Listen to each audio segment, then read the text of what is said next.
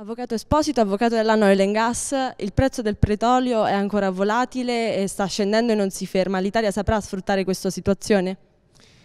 Ma, eh, mi auguro di sì. Eh, ci sono alcune aziende che sicuramente, eh, le energivore, che sicuramente ne trarranno beneficio, altre forse un po' meno. Ecco, poi non dimentichiamo che in, in Europa, in Italia in particolare, il prezzo eh, del gas è anche eh, legato al prezzo del petrolio per tutti i contratti take or pay e quindi questo avrà un impatto anche sulla generazione elettrica che nostra, nel nostro paese è fortemente basata sul, uh, su centrali uh, termiche a gas. E quindi questo ci auguriamo comporti un, una riduzione possibilmente sensibile del, uh, del prezzo dell'energia beneficeranno le imprese. Ecco, c'è da considerare che a fronte del uh, calo del prezzo del gas c'è un apprezzamento del dollaro, uh, valuta a cui è legato comunque il prezzo del petrolio, quindi anche quello del gas, e quindi questo in qualche modo riduce il beneficio per, per l'Europa e per i paesi dell'euro.